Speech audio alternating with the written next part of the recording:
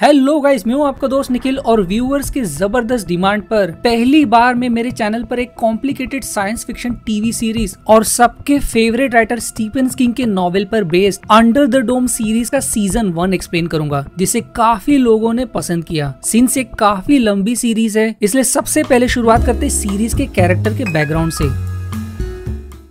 Dale Barbara also known as Barbie, एक Iraqi war veteran उसे military से निकाल दिया गया उसके एक गलती के कारण। जहाँ अपने साथी को रेस्क्यू करते दौरान स्मोक के ब्लाइंडनेस में उसने अपने ही साथी की जान ले ली। इसलिए अब वो फिरौती का काम करता है। जूलिया, एक रिपोर्टर उसके एक झूठ के कारण, उसे उसके पिछले काम से निकाल दिया गया। और अब वो अपने पति के साथ चेस्टर्स मिल्स टाउन में रहती है। लिंडा एक महत्वाकांक्षी, उसके गार्डियन और टाउन के शेरिफ ड्यूक ने उसे टाउन का डेप्यूटी अपॉइंट किया है। एनजी पार्ट टाइम वेट्रेस उसका हमेशा से सपना है टाउन से कहीं दूर रहने का, और जिसे छोटा भाई एनजी भी है। जिम और जेम्स बाप बेटा, उनके रिलेशनशिप में थोड़ी करवाहट है, क्योंकि जेम्स अब तक उनकी उम्मीदों पर खरा नहीं उतरा। जिम टाउन का काउंसिलर अपने टाउन के लिए बहुत पॉजिटिव है, जिसका इंटेंशन एक दिन टाउन को अपने कंट्रोल में रखना है, ताकि वो इस टाउन को अपने तरह से सवार सके। वहीं जेम्स ने अपने मॉम को नौ साल पहले ही एक एक्सीडेंट में खो दिया, और अब वो अपने बचपन के दोस्त एनजी के पीछे प्यार में पागल है। इंजीनियर स्किल में टैलेंटेड डूडी फिल के साथ मिलकर दोनों लोकल रेडियो स्टेशन चलाते हैं। और आखिर में टीनेजर नोरी के माता पिता बचपन में कहीं गायब हो गए। और तब से उसके लेस्बियन मदर्स कैरोलिन और एलिस उसकी देखभाल करते हैं। तो चलिए अब शुरुआत करते हैं इसकी कहानी से।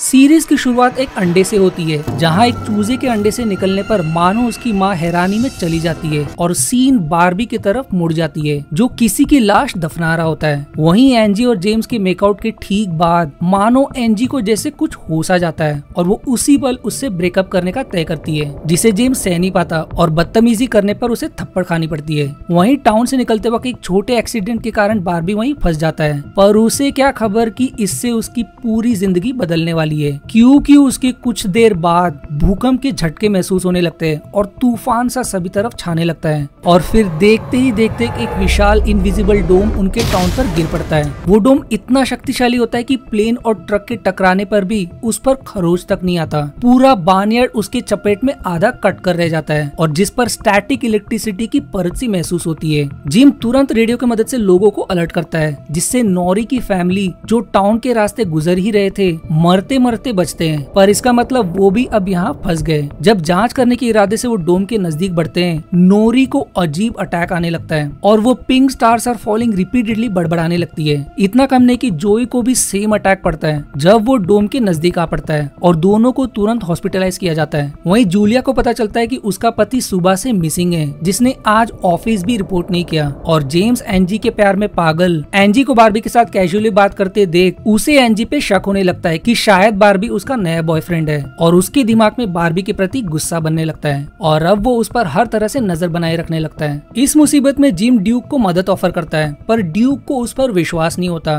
क्योंकि उसे जेम्स की हरकतें पता होती है कि वो टाउन को कंट्रोल करने के पीछे है। पर जिम उसे धमकी की तरह याद दिलाता है कि सून लोग जवाब मांगेंगे कि आखिर ज़रूरत से ज़्यादा प्रोफेन टैंक को क्यों स्टोर किया गया? खास करके डोम के गिरने से पहले, जिम के बातों से साफ़ पता चलता है कि वो ड्यूक और टाउन का रेवरेंट किसी इलीगल काम में शामिल है, जिससे वो तीनों भी मुसीबत में फंस सकते हैं। पर ड्यूक पलट जवाब देता है कि उसने जो भी किया टाउन के भले के लिए किया, और वो उसके धमकी से नहीं डरने वाला। पर आखिर वो क्या है, हमें सुन पता चलेगा। उसी दौरान डूडी को उसके रिसीवर पर कोई अजीब एलियन लाइक सिग्नल का पैटर्न सुनाई देता है, जिसका वो कोई मतलब नहीं निकाल पाती। दिन ढलने पर अब बारबी और भी कंफ्यूज कि वो कहाँ रहे। Julia as a good citizen उसे अपने घर पना देती है। पर घर पहुँचने पर बारबी को पता चलता है कि जिसकी लाश उसने गाड़ी थी। वो जूलिया का हस्बैंड पीटर था। पर वो चुप रहने का ही ठीक समझता है और वहीं जेम्स अपने पागलपन में एंडी को किडनैप करके कैद कर देता है। क्योंकि उसका मानना होता है कि उसका बर्ताव ठीक डोम के गिरने के बाद से बदला। उसके हिसाब से डोम में कोई अदृश्य शक्ति है जो उसे कंट्रोल कर रही है। एंडी उसे समझाने की बहुत कोशिश करती है, पर सन की जेम्स समझने को तैयार नहीं होता। वहीं डोम की जाँच करते समय ड्यूक किसी गंभीर परेशानी में लिंडा से कोई सीक्रेट शेयर करने बढ़ते हैं, पर डोम के करीब पहुँचते ही उनकी मौत हो जाती है।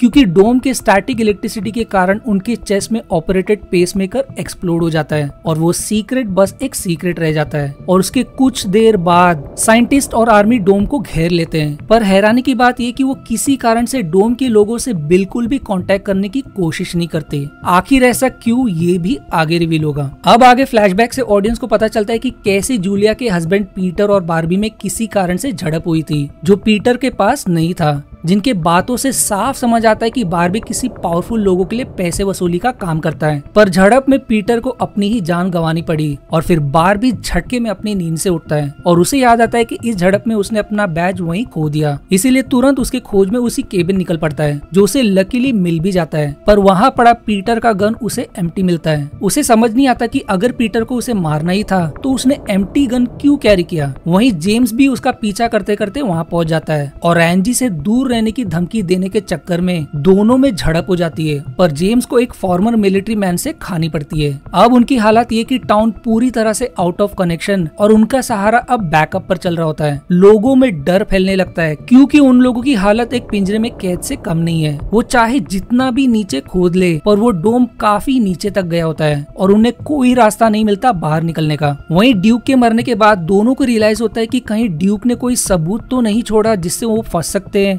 इसलिए रेवरेंट तुरंत ड्यूक के घर की छानबीन करने लगता है और अंत में उसे कोई कॉन्फिडेंशियल डॉक्यूमेंट भी मिलता है, पर उसे नष्ट करने के पीछे वो पूरे घर को आग लगा देता है, जिसके चपेट में वो खुद आ जाता है। पर वो मरते मरते बचता है अगर जिम ने चालाकी से आग नहीं बुझाया होता और लिंडा ने उसे सही समय पर नहीं निकाला होता। अब इस हेरोइक एक्ट के बाद जिम टाउन के लोगों का भरोसा जीतने लगता है एज ए लीडर सभी का इस परिस्थिति में। अब जोई और नोरी के सीजर से रिकवर करने के बाद दोनों की मुलाकात होती है, जहाँ नोरी को जोई धीरे धीरे पसंद आने लगता है। और जब दोनों एक दूसरे का हाथ थामते हैं, उन्हें फिर से वही दूसरा दौरा पड़ता है और दोनों सेम चीज़ बड़बड़ाने लगते हैं। दूसरी तरफ़ जूलिया को बारबी के बर्ताव पर शक होने लगता है और छिपते छिपाते उसका बैग चेक करने पर उसे एक मैप मिलता है जहाँ टाउन का एक लोकेशन मार्क होता है। मार्क लोकेशन फिल का घर निकलता है और उससे उसे उसके पति का एक सीक्रेट पता चलता है कि पीटर को गैम्बलिंग का लत लग गया था, जिसके पीछे उसने अपनी कार और घर तक बेच दिया पैसे लौटाने के लिए। और आखिरी बार बारबी के साथ वो उस केबिन देखा गया था, जहाँ से कुछ डॉक्यूमेंट्स मिलने पर फिल की बातें सही निकलती है। पर तभी अचानक से जूलिया को कुछ होने लगता है और वो वहीं बेहोश पड़ जाती है। उसे अब पीटर दिखाई देने लगता है। लकीली बारबी उसका पता लगाकर एन मौके पर उसे बचा लेता है। पर सिर्फ़ जूलिया ही नहीं, बल्कि कई लोगों में फोटोफोबिया नाम की जानलेवा कंटेजियस बीमारी फैलने लगी, जिससे अब हर तरफ़ अफरा तफरी मचने लगी। इसलिए इससे पहले की ये बीमारी और भी लोगों में फैले जिम जेम्स को हॉस्पिटल की निगरानी पर लगा देता है कि कोई भी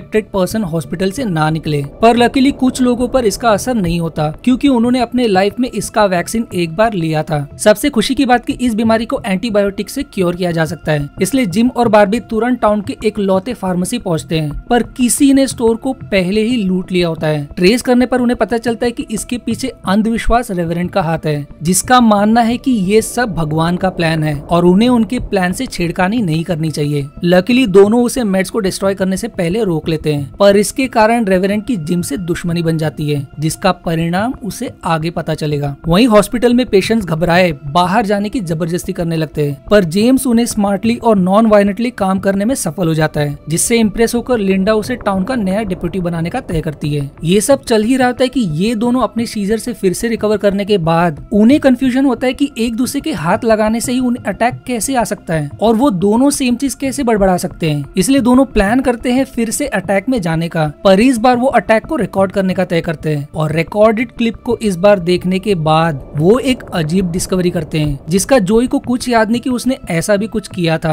अगली सुबह होश आने पर जूलिया बारबी को कन्फ्रंट करती है कि वो आखिरी बार पीटर से मिला था तो उसने उससे इतनी ज़रूरी जानकारी कैसे छिपा रखी? आखिर पीटर उससे मिलने के बाद कहाँ गया? पर बारबी डर के मारे उसे अब भी सच्चाई नहीं बताता। इसी दौरान अब भी कैद में एनजी के एस्केप करने की कोशिश में गलती से पाइपलाइन टूट जाती है। और अब चेम्बर धीरे धीरे पानी से भरने लगता है। लकीली उसकी चीख पाइप के थ्रू जिम सुन लेता है और अपने बेटे का करतूत देख वो हैरान हो जाता है। पर जिम अब बड़ी दुविधा में होता है कि वो उसे कैद रखे या जाने दे, क्योंकि इससे जेम्स को जेल और खास करके उसका नाम खराब होगा और टाउन के लोग उसे एज ए लीडर की तरह नहीं देखेंगे। इसीलिए वो सिर्फ़ उसे डूबने से बचाता है और उसे कैद में बनाए रखता है। अब अगले दिन जोई अपने डिस्कवरी से ये निर्णय निकालता है कि शायद डोम अलाइव है, जो उन्हें कुछ बताने की कोशिश कर रहा है। इसलिए दोनों जब करीब होते हैं, उनके इर्द गिर्द तेज फ्रीक्वेंसी महसूस होती है। सबसे बड़ी खोज की उनके घर के करीब डोम के हिस्से पर मोनाक बटरफ्लाई छाने लगे, जिसमें आरबी भी खास इंटरेस्ट दिखाती है। नौरी के हिसाब से कहीं उनका डोम एक कोकून की तरह तो नहीं। कोकून की बेसिक जानकारी दू तो कैटिपिलर या तितली अपने जीवन वर्ष में कोकून बनते हैं, जिसमें से कुछ दिन बाद एक खूबसूरत मोनार्क तितली जन्म लेता है। पर कोकून का डोम से क्या संबंध है, हमें ये आगे पता चलेगा। इतना कम नहीं कि जूलिया को डूडी के रिसीवर पर मिलिट्री का अजीब संदेश कैच होता है। वहीं रेवरेंट को भी अपनी हियरिंग मशीन पर मोयाब नाम का अजीब संदेश सुनाई देने लगता है, जो उसके हिसाब से उनके लिए भगवान का संदेश है, और सीरीज़ की ये एपिसोड यही एंड हो जाती है। अगर आपको इसके आगे का एपिसोड देखना है तो इसका लिंक मैंने आई बटन और डिस्क्रिप्शन में मेंशन किया है। प्लीज़ दोस्तों, वीडियो को लाइक और कमेंट करना ना भूले, क्योंकि कड़ी मेहनत के बाद आपकी रिक्वेस्ट पर ये वीडियो बनाई है, और यदि आप मुझे सपोर्ट करना चाहते हो तो अपने दोस्तों से वीडियो शेयर और चैनल को सब्सक्राइब करना ना भूलें